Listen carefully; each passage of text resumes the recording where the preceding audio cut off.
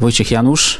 Tak się zastanawiam, bo jeśli chodzi o galę MMA, zawsze tętnią życiem, wszystko naokoło, tutaj szum, dużo ludzi, tu kibice, tutaj autografy.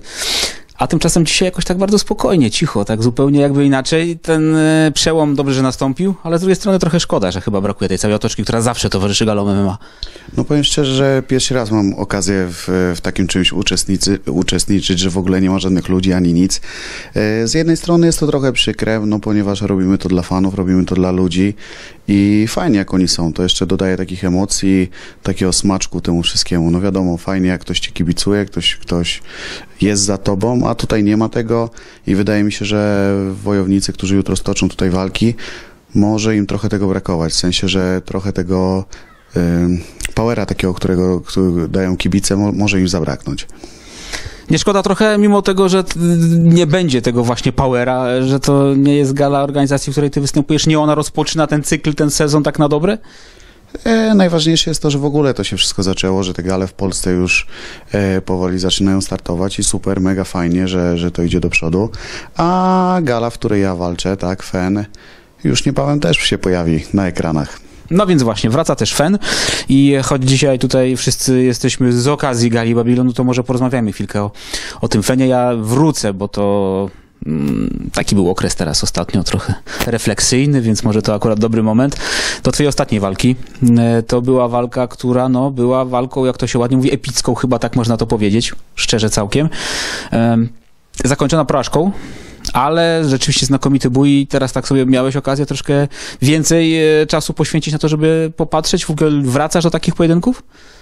E, Szczerze powiem tak, tak, wracam, wracam, staram się je oglądać, analizować, zawsze wyciągać to, co jest złe, wyciągać to, co jest dobre, żeby cały czas się rozwijać, cały czas iść do przodu. Niestety walka była przegrana, sędziowie wzięli tutaj moją przegraną, ale tak jak wspomniałeś, no walka była super. Może kiedyś jeszcze będzie taka możliwość rewanżu. Super, mega fajnie by było. I mam nadzieję, że wtedy damy jeszcze większy show z Adamem. No właśnie, bo wspomnijmy, że tutaj rozmawiamy o walce, gdyby ktoś zapomniał przez ten długi czas um, odwyku od MMA, że chodzi o, o twój pojedynek z Adamem Kowalskim na gali FEN, która była w styczniu. E, Ja tak się dodatkowo tylko dopytam jeszcze delikatnie, bo pamiętam, że tam y, był jeszcze dodatkowy smaczek tej walki, zaręczyny i tak dalej. Wszystko się udało potem już, y, mimo że to się nie tak miało skończyć? Wszystko było ok? Tak, tak, wszystko jest ok, wszystko jest w jak najlepszym stanie. Wesele się odbędzie w przyszłym roku. Zaręczyny były super, więc fajnie, super. No to teraz jest e, już e, tutaj poukładane, to najważniejsze. Wróćmy do tych sportowych wyzwań, bo też e, wtedy zastanawiałeś się nad tym, jak to będzie dalej wyglądało, czy, tak jak mówisz, w tym momencie, kiedy wiadomo już też, że FEN wraca, coś więcej wiadomo tak już konkretnie, jeśli chodzi o twoją osobę.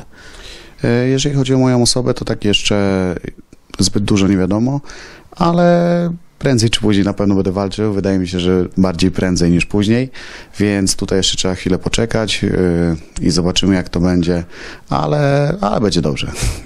To na pewno, natomiast czy to, tak mówiłeś o Adamie Kowalskim, czy to myślisz, że to już ten rewanż, teraz możemy się go spodziewać?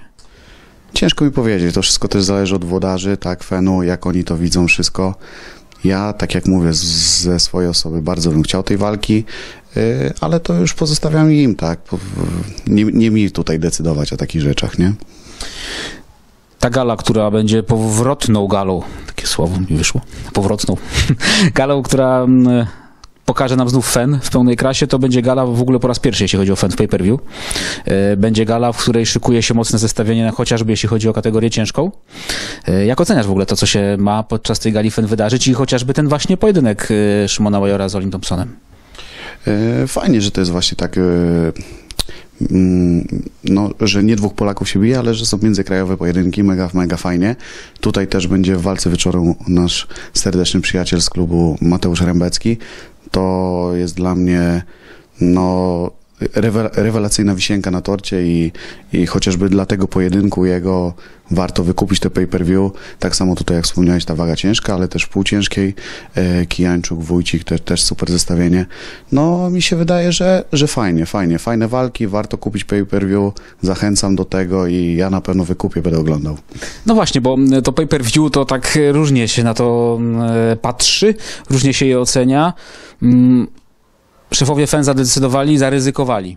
z tym e, pay-per-view.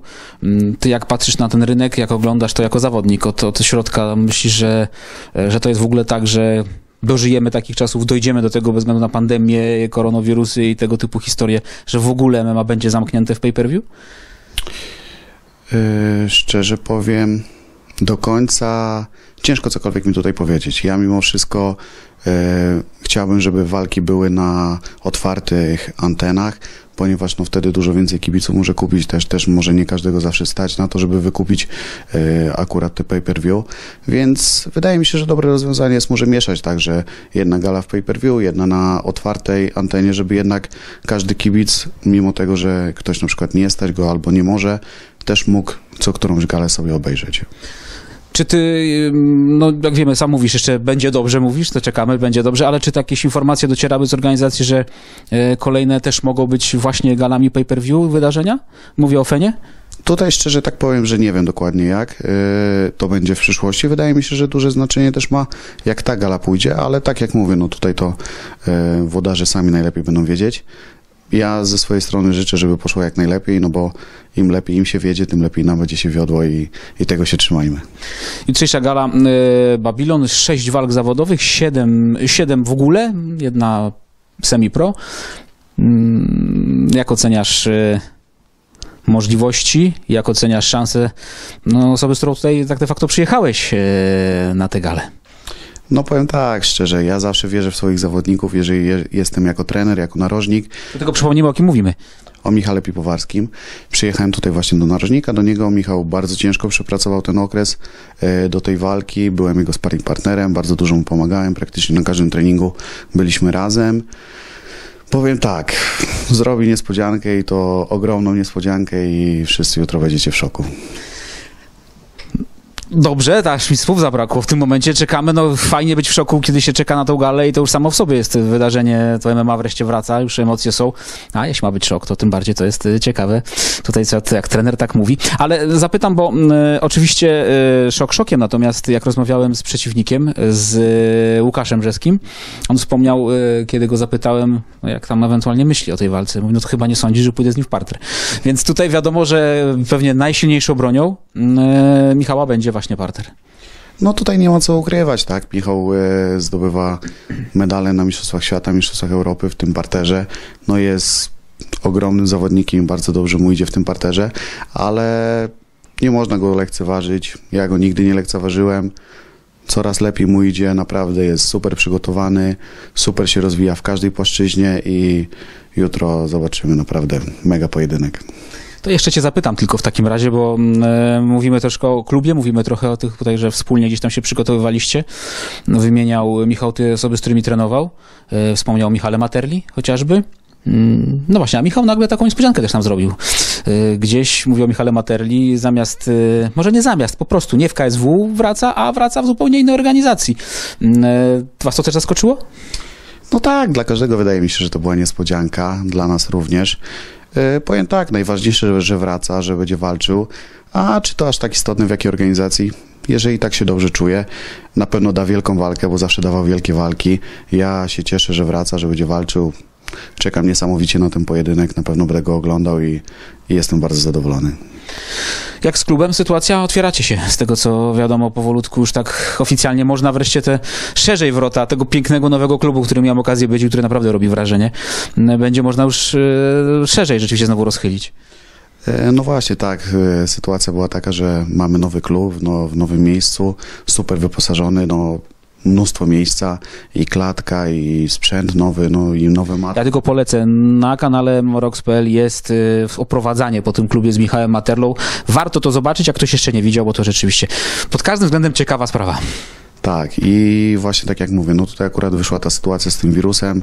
Klub niestety musiał się zamknąć na jakiś czas, ale tak jak już wiem, też czytałem właśnie w internecie, 6 czerwca jest otwarcie, jest powrót, super, rewelacja, będziemy mogli wrócić, trenować w tym pięknym obiekcie, jeszcze mocniej się przygotowywać, no coś pięknego. Zachęcam na treningi i, musicie chociaż przyjść i zobaczyć, jak to wszystko wygląda.